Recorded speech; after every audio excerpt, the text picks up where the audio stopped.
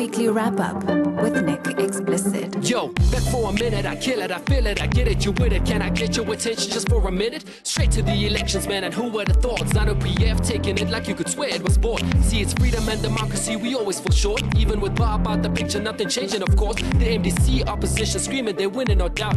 Why would you do that before they started the count? Now moving on, I brought the people's hero, Imran Khan, went from greatest cricketer to minister of Pakistan. See, you said I've been away, you can fail. Either vote for him or the guy that's in jail. Now on the local front, you either shocked or upset. The unemployment rate is sitting at 27%. Meanwhile, ANC endorsed amended Section 25, expropriate the land to the people that were deprived. Former public prosecutor Thuli's all about smiles. She found a special someone that would dish for a while. I guess we need a new report, man. But where do we start? The capture report. Who stole Thuli's hearts?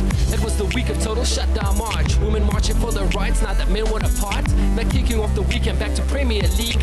I'm up to ring pictures, Sundowns and Kaiser Chiefs. Now that's all from me, so I'll catch you on the flip side. Afro World View, channel 405.